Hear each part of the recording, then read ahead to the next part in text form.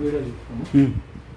So here we are going to demonstrate about dual axis uh, solar tracking system. The main components of our project are uh, solar panel which is going, to generate the voltage. So this generated voltage is stored into the battery by using a charging circuit. Here you can see the charging circuit terminals. So there are uh, DB107 bridge rectifier, 1000 microfarads capacitor, diode to not get reverse current, uh, toggle switch to on and off the uh, power supply from the charging circuit. This is the battery terminal where you have to connect the charge the battery and you have to place it in the sunlight so that the battery gets charged. So and keep in mind that uh, the toggle switch should be turned on to connect the terminal.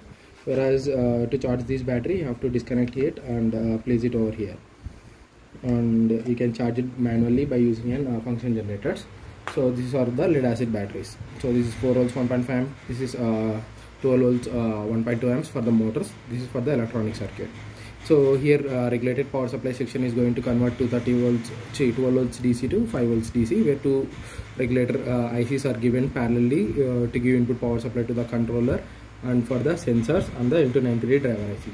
So these two terminals and regulator is connected to the controller and the uh, L293 driver, whereas other uh, side of regulator is connected to all four sensors.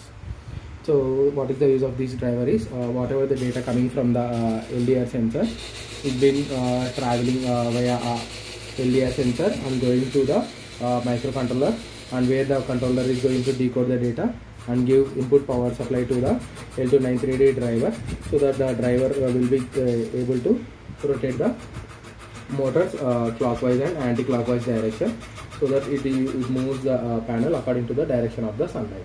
So this is how the light dependent resistors are going to give input signal to the controller and gives an output signal uh, to the L293 driver IC where it is going to take the power supply from the uh, 1 amp battery and gives to the individual motor where you can see uh, at the bottom end uh, Johnson motor high torque motor because the uh, weight of the frame is very much high so have we have used a Johnson motor and where uh, we are going to use a 3.5 rpm gate DC motor.